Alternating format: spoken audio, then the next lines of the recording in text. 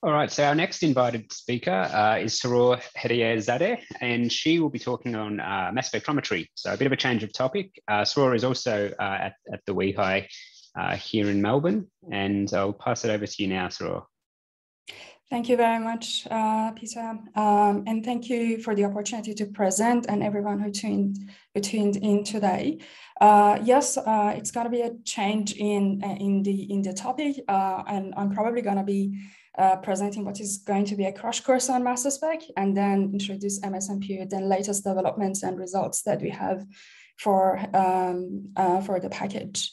So uh, there's, uh, there's a great interest currently in uh, mass spectrometry as it is the only technology that enables us to quantify uh, proteins uh, that exist in uh, complex uh, biological samples exhaustively and comprehensively.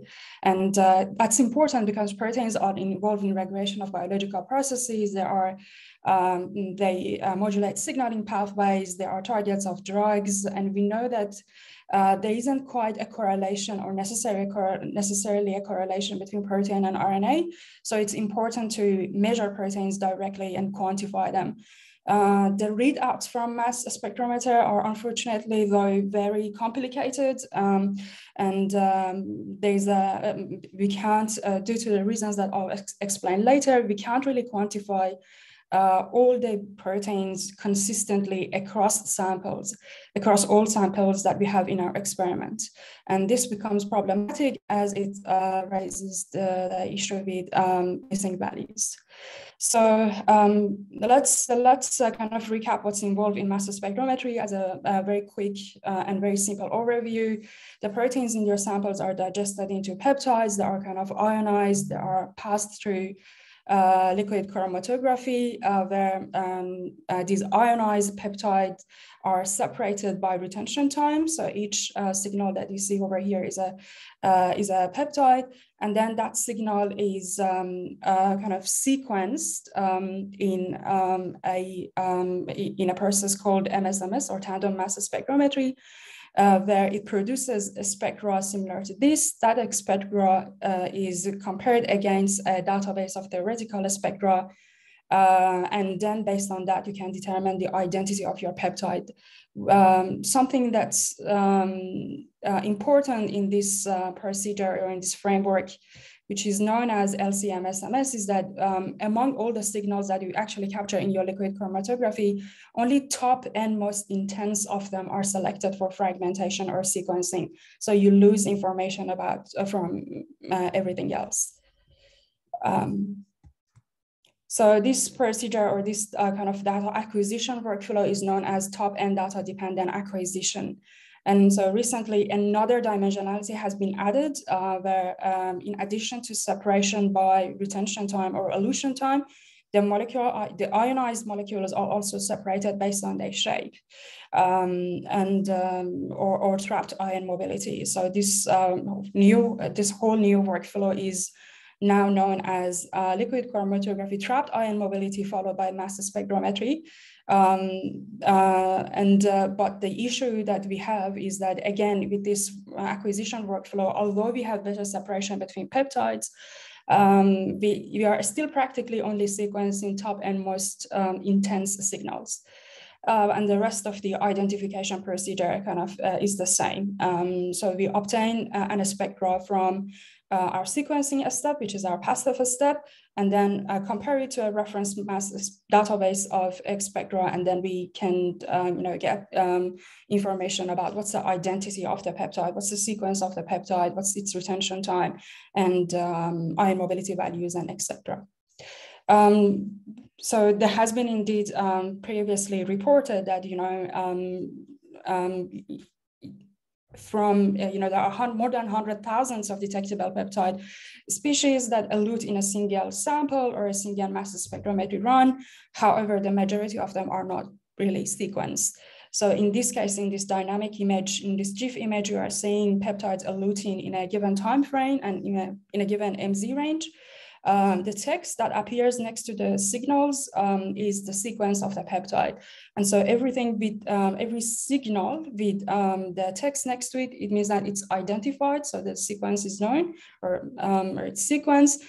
uh, and the rest of them uh, with no signals, with no text next to it, which means that it's kind of missed by sequencing. So you see that there are uh, lots of signals that are missed by C. They are not sequenced at all, uh, but they actually exist. And um, um, you know, it's possible that you can detect them, but uh, the sequencing technology is still uh, lacking behind and it's not quite capable of um, detecting every single peptide species that's there. And so this plot over here, what's it's uh, essentially repeating the same thing that in your uh, LC-MS uh, workflow, you are missing, uh, you're detecting, potentially detecting lots of peptide features or peptide signals, but only um, uh, this green proportion of them are actually sequenced. With the trapped ion mobility technology, you uh, would hope you you are you know you are hoping that you increase the depth of sequencing, but in practice we are still we are still not really quite there. So uh, the stochastic nature of this top N selection procedure means that we can't really quantify proteins and peptides consistently across samples, particularly in large cohorts. So it uh, limits our ability to quantify lower abundance ions. And uh, just because we can't really quantify all our features, uh, i.e. peptides or protein consistently across samples or commonly across samples, we have lots of missing values. There have been alternative uh, data acquisition workflows um, that address limitations of data-dependent acquisition. But in practice, the broader dynamic range, the dynamic range in DDA is much larger, and so it's more appropriate for discovery-based proteomics. One of the crucial steps that happen at the quantification is identification, transfer, or match between run. And this is where um, a peptide that's uh, detected in a donor run, um, in a, it's detected in a run, it's transferred to a run where it's missing, but a peak or a signal exists within the neighborhood, within a reasonable neighborhood of this uh, donor peptide over here.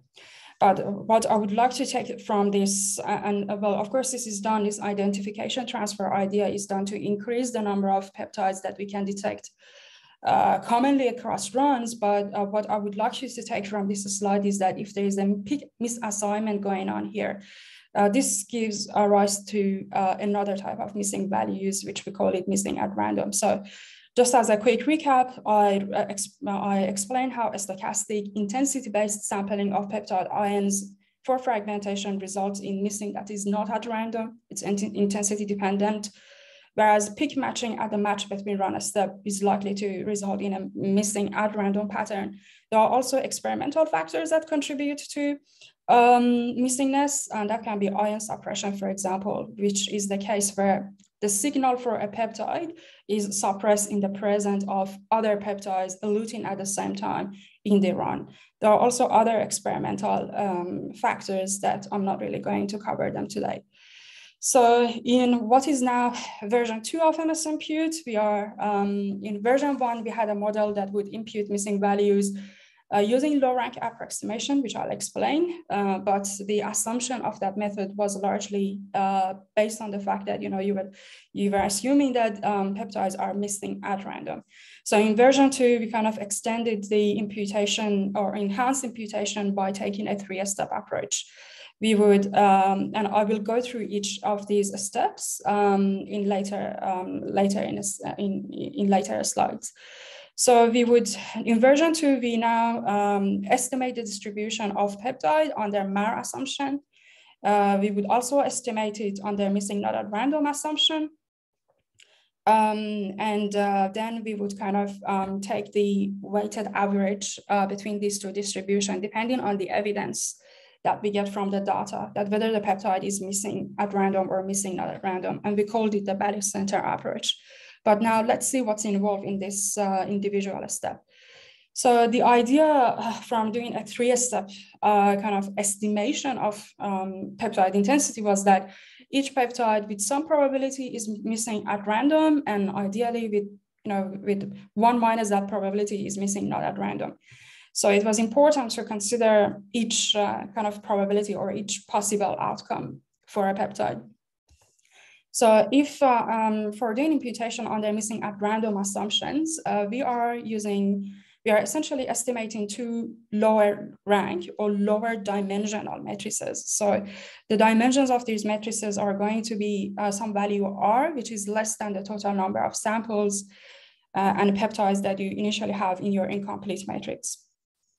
So the rank approximation means that we are really after, we are trying to estimate two matrices A and B here in purple and orange um, through this minimization, um, through this kind of objective, through this e equation or objective function.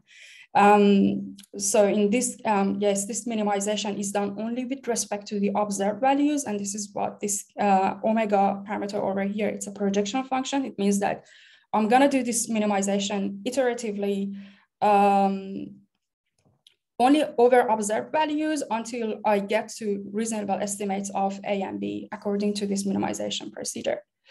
And this lambda over here is really the parameter that controls uh, the R estimation, you know, or the rank of the matrix or the dimensionality of the two A and B matrices. Um, rank approximation is a kind of a global imputation strategy. So what happens is that if you, if the majority of the peptides tend to have high expression in uh, samples, you know, you would you would impute the rest of the samples uh, with the high values as well. So your distribution would kind of theoretically would look like shifted towards higher values as uh, shown here. What we realized was that um, letting lambda to estimate R wasn't really working in um, typical uh, proteomics conditions where we have only six or uh, you know eight samples. So we kind of our rank estimation procedure in version two is now using effective rank, which is using a entropic based approach to uh, compute where the rank, where, where, the information in data sits, in, on what dimension, what would be the appropriate dimensionality. Uh, but this effective rank we um, um, recommended when you have two, 20 or more uh, runs. If you have less than that, um, the different several benchmarkings have kind of uh, demonstrated to us that it's better to go with rank two models, which is kind of uh, equivalent to imputation by mean, but not um, that um, it's not really that I mean, that much equivalent, but um, and I will show you where those kind of guidelines come from in my benchmark results. So for uh, estimation under missing not at random assumption, we are just following the typical downshift approach, the commonly used downshift approach.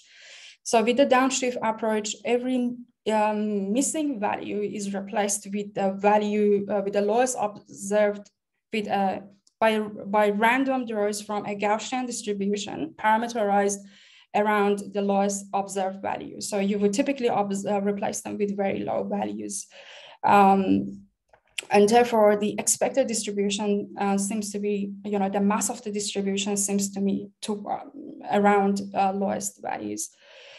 So the idea with the barycenter approach is that, you know, as I mentioned, each peptide has with some probabilities missing at random, missing not at random. Let's use an, a data-driven um, metric to see which of these two distributions is, is likely, and and just simply let's the uh, let's um, do a weighted average of this distribution based on the evidence.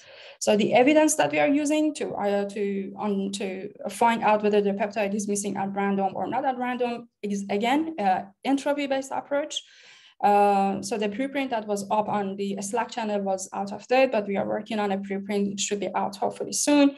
Um, and you can follow up the details of that um, uh, in, in the manuscript. But um, the general idea is that we use that entropic-based evidence to understand whether the peptide is likely to be missing at random or missing not at random, uh, and then weight these two distributions according to that evidence. And uh, we call this like the barycenter because barycenters are known, uh, are essentially weighted averages of distributions.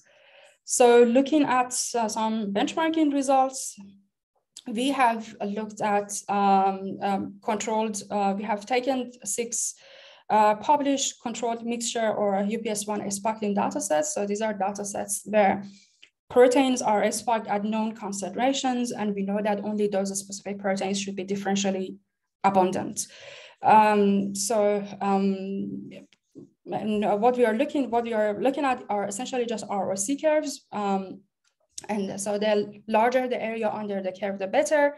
And you see that in most uh, cases, um, uh, the barycenter approach is the um, the most outer curve. So it's uh, it's giving you uh, a large number of true positives, but also maintaining a good uh, false positive rate. And we compared it against what is known as um, uh, state-of-the-art imputation methods.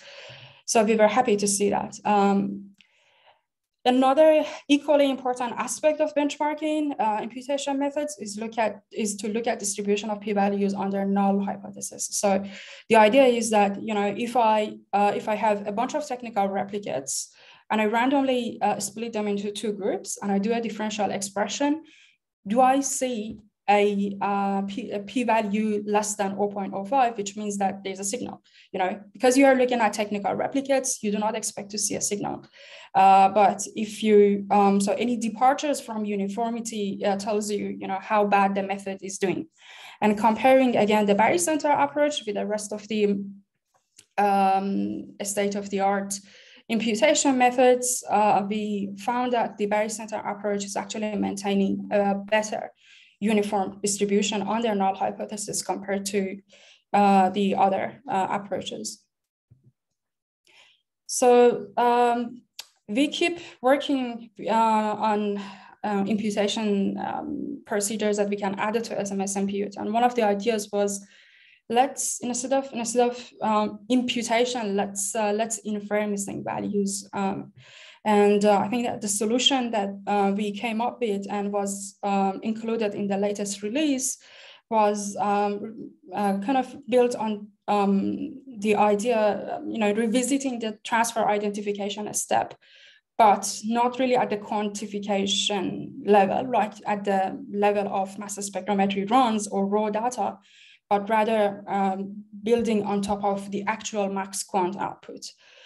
Uh, so what we are doing here is that we are actually taking MaxQuant outputs, so not even the raw data, but rather MaxQuant outputs, and we are essentially revisiting the MaxQuant results uh, to see if it's possible to improve identification transfer between runs. That is, to transfer a peptide sequence from a run that is detected to other runs where it's missing. So I'm not going to be able to go through the details of what is known as MSPIP.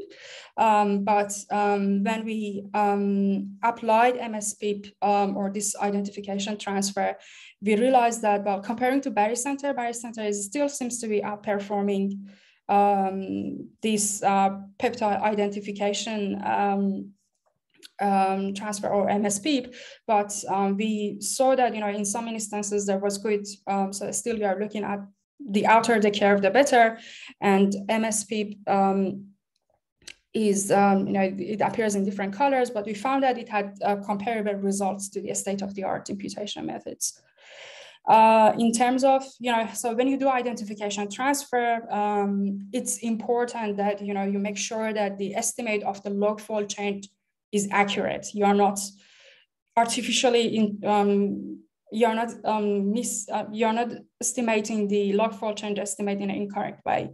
Um, so we looked at uh, a uh, kind of mixture, protein mixture of uh, three uh, species, Homo sapiens, as yeast and E. coli. So the proteome from these three species were spiked at known concentrations. So we know the relative ratios, we know proteins from uh, yeast, for example, should be downregulated um, at fold change of um, you know minus one compared to human and E. coli. And so we looked at you know how um, the peptide identification or MSP um, would um, incorrectly estimate the log fold changes. And we, we found that, you know, unless, well, if you, um, so with the MSP uh, strategy, you can only retain the most confident um, uh, identification transfers, or you can you know, keep all the identification transfers that MSP finds out there. Uh, but what we saw that, you know, when we were uh, filtering the low confidence one, we were still getting a reasonable estimate of log fold changes. But when we kept all the identification transfers, we start to, so the performance start to drop. And uh, we saw that some of these, uh, some of the proteins um, in E. coli, for example, that we knew they had to be upregulated, the log fold change was estimated instead as if it was downregulated. So in terms of looking at also false positive, um, sorry, false transfer rates, um, we looked at a data set where we essentially do identification transfer between a bunch of runs that only contain human proteins and a bunch of runs that contain human and uh, E. coli or yeast proteins. And so the idea is that, you know, in your human runs, you should only see human proteins after identification transfer.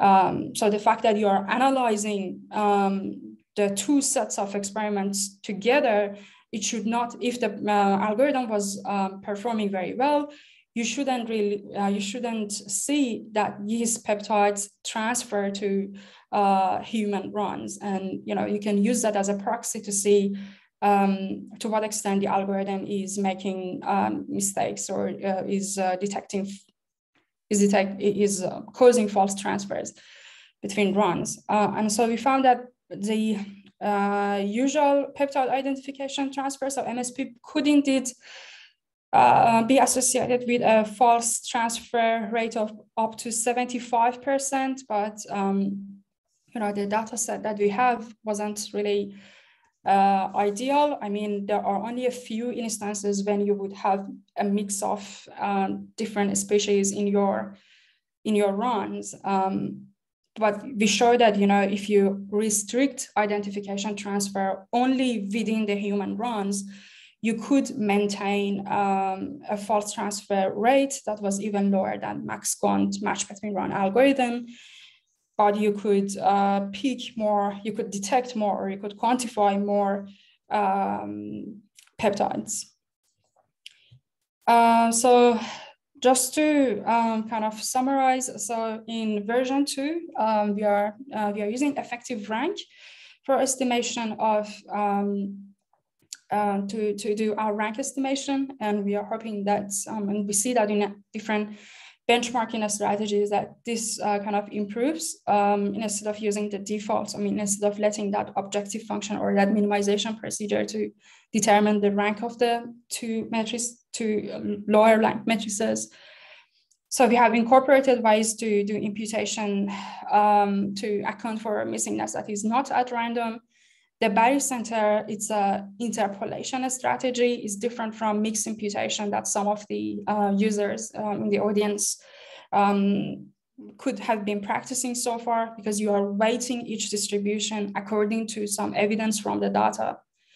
Um, the evidence is entropic. It's it's not necessary. It's not a probabilistic model, but it doesn't undermine its validity. It's just a different way of modeling missing at random, missing not at random. Um, and uh, it's designed to work with, uh, msImpute is designed to work with uh, normalized data, log transform intensities. There are also, we have also added a couple of uh, diagnostic plots or other handy tools that kind of makes uh, makes it more convenient for you to um, work directly with max com read MaxQuant outputs directly and um, um, work work with limma in a more straightforward way. Um, so of course, the latest developments will first appear on, um, on the GitHub repository. So feel free to check out the GitHub repository. Um, and I just wanted to do a, since this is a bioconductor uh, talk, um, uh, I just wanted to kind of do a quick um, workflow demonstration that, you know, all you need to do for the imputation part is essentially your um, matrix, your incomplete matrix, and uh, you know choosing a method. Um, so our version two, we have this, we have provided some kind of guide guidelines uh, with respect to you know which of these options um, you would um, you should choose or you should consider to choose in uh, on our GitHub repository on the README page. Um, there there will be vignettes and there will be um, more documents um, soon. But the idea is that, you know, um, the idea is that you would have some assumptions whether your data it's going to have missing at randomness or it's going to be missing not at random. So you know that missing at randomness is um, mostly associated with, you know, there are things that you would expect to see in DIA approach, in DIA data, missing not at random is kind of inherent to DDA. So you would choose your method depending on the data acquisition workflow And this is the kind of the workflow that kind of demonstrates how you can load uh, MaxQuant output results um, and uh, you know integrate them very easily with limma, with a standard limma differential expression framework. Um, but of course, I mean, as you uh, appreciate, the MSPIP is still in progress. Um, I mean, it's we are still doing benchmarking and uh, improving upon the implementation MSPIP. Um, that's it from me. Uh, I would like to acknowledge my uh, supervisors, Melissa and Andrew, uh, Daryl and uh, Rune for being very helpful during my in helping me getting started in my PhD. Uh, Jumana and Samantha, I mean, uh, I received feedback from um, essentially data analysts who worked um, at the uh, proteomics division. Uh, and then I improve upon msImpute, which is very valuable and I appreciate it. Thank you and um, happy to take your questions. Thank you, Sarah. Uh, reminder that people can ask questions on the Slack channel for Soroor's talk and uh, they can be answered over the coming days. I thought um, I'd ask one. Uh, so imputation and, and the notion of uh, missing at random and missing at not at random, they're pretty familiar concepts to statisticians, but how do you go uh, convincing uh, your biological colleagues of these concepts and are they comfortable with things like imputation? My experience as a statistician is that sometimes biologists are uh, quite suspicious of imputation and think you're just kind of making up data. And is that how do you approach those sorts of conversations?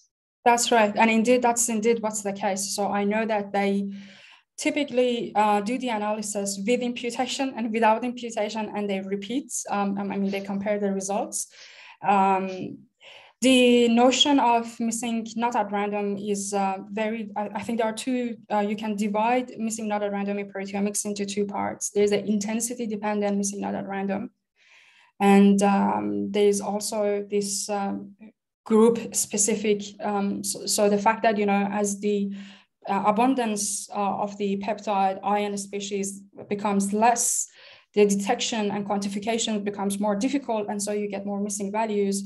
But even for the higher abundance peptides, we see that they often exhibit condition-specific or group-specific missing values. So they are missing in one specific experimental condition and the other one. So I said that because you know the statistical procedures that we use for missing random treatment are not quite directly trans.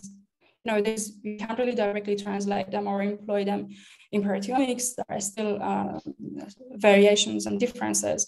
But yes, um, that's true. There are often suspicious about doing imputation. Um, and unfortunately, during the pre-processing, like filtering step, uh, uh, more importantly, they even introduce biases in the data that makes the whole uh, reproducibility of the analysis even more challenging. So um, there are many aspects in proteomics that are not uh, well defined. There are not really yet workflows out there to help users um, to you know follow those workflows and um, the lack of um, existence of these kind of uh, uniform workflows um, means that you know they'll try different things. They introduce biases in different variation in different um, at different stages of pre-processing. And so it, you, you know they are uncertain about imputation but also the uncertainty has added during the data analysis step. Um, so one of the ideas that MSP was trying to address was incorporation of how, unconf- how in, confident I am about the imputation method. So with MSP, you get a weight uh, for each imputed values. Um, and so you can essentially downweight them or using limma, um, kind of limma voom estimation procedure to downweight the imputed value. So, and this is why we are really looking into getting msImpute to work or other versions of equivalent of it. Um, but I think that would really, um, the MS, the idea of downweighting imputed values, uh, similar to what we are hoping to pursue with MSP, would help uh, biologists to um, become more confident in terms of the analysis that they do. Thank you very much. So we're right on five o'clock. So thank you, Soroor. Uh, we're